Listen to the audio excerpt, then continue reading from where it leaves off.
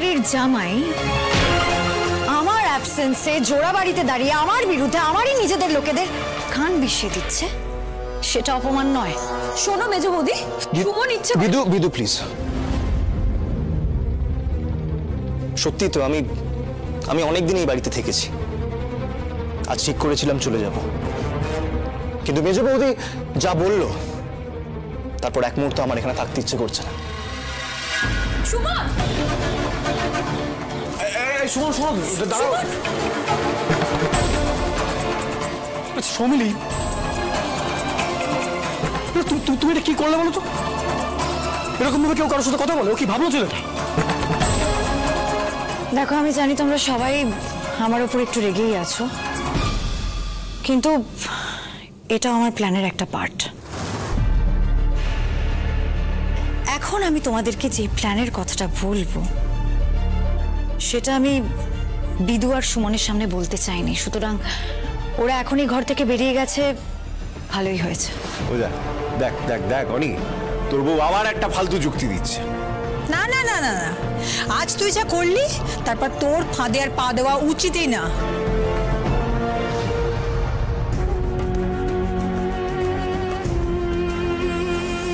এই সুমিলি মানে তুমি এতক্ষণ ধরে নীলা আর ওই দীপুর সম্বন্ধে যা যা বললে, সব সাজানো? আনবিলিভেবল অনি। তুমি সেটা বিশ্বাস করে নিলে? আরে বাবা এটা কোনোদিনও সম্ভব যে আমি ওদের বিয়ে মেনে নিয়েছি?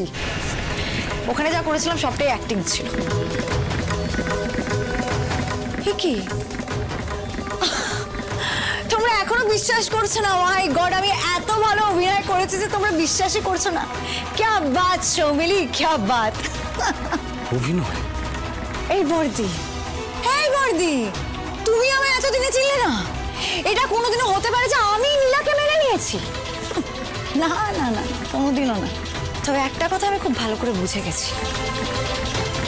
নীলাকে কোনো ছোটোখাটো প্ল্যান দিয়ে বাড়ি থেকে বের করা সম্ভব না।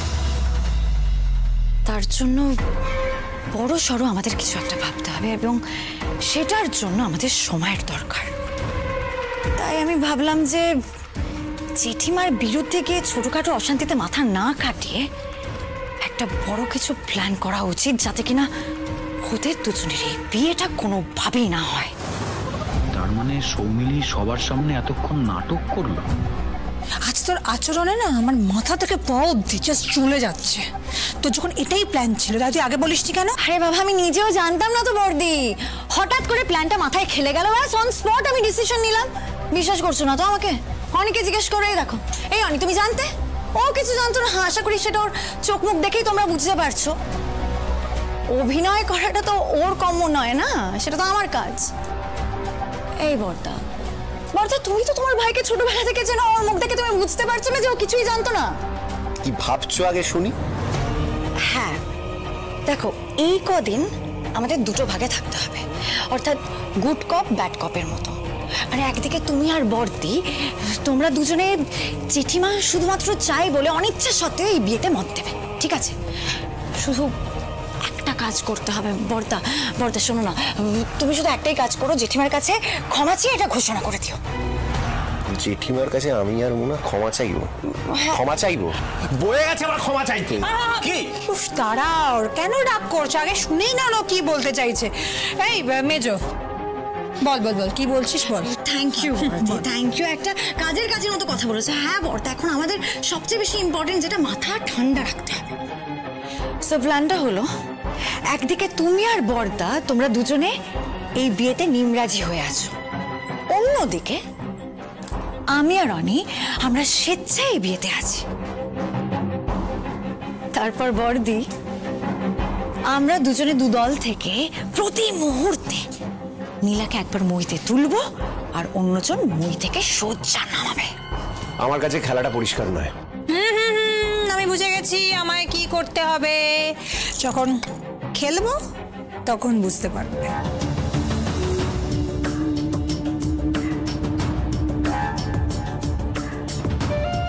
নীলা আর দীপুর বিয়ে নিয়েও তুমি এরকম একটা প্রহসন সাজালে শুনলি না না এটা মোটেই ঠিক হচ্ছে না। অধর্মের কাজ হবে তোমার এই প্ল্যানে সামিল হলে ভীষণ অন্যায় করা হবে।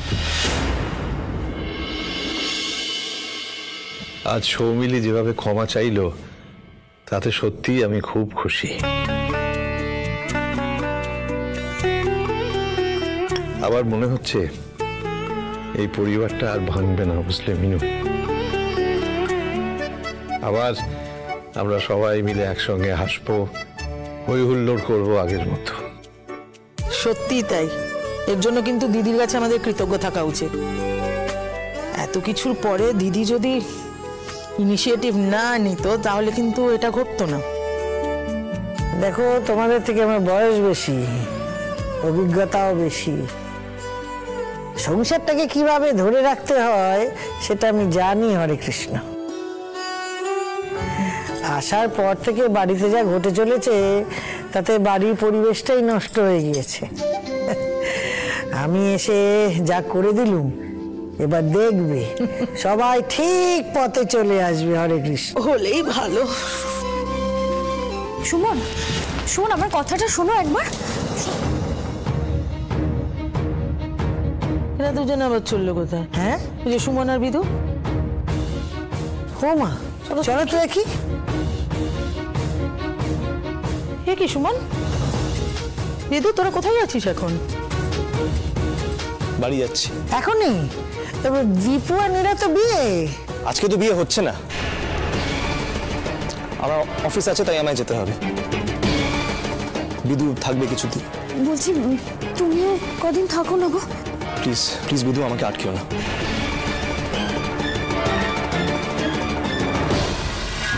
পিসির বিয়ে ছোটকার বিয়ে পর পর বিয়ে বিয়ে আর বিয়ে। মজা মজা শুধু মজা আর মজা।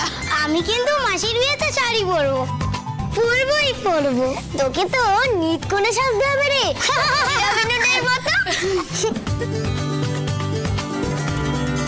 ছোটকা কি করছ তুমি? আমরা তো তোমার বিয়ে নিয়ে আলোচনা করছিলাম। তুমিও এসো। তোরা কর আমার এখন অনেক কাজ আছে। গোগল ছোটকা এখন কাজ করছে না? ডিস্টার্ব করো না। তোমরা বরং যাও তো দাদুর সঙ্গে গল্প করো। যাও যাও যাও যাও যাও। মজা। আমার মনে হয় এই আচমকা বিয়ের চাপেই ছোট দাদাবাবু এত চুপচাপ। গম্ভীর।